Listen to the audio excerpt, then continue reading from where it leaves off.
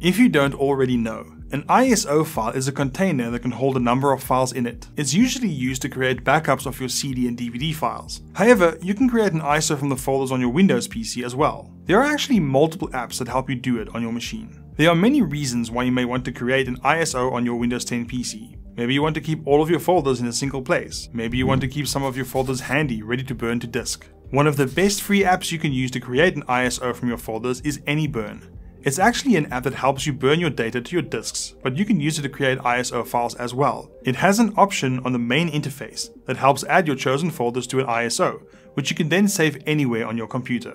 Download, install and launch AnyBurn on your computer. You'll find several options regarding creating ISOs in the main interface. Find the one that says create image from files or folders and click on it. The following screen will let you choose the folders that you want to add to your ISO. Click on the Add button at the top to add your folders. If you want to specify any custom settings for your file, click on the Properties button at the top.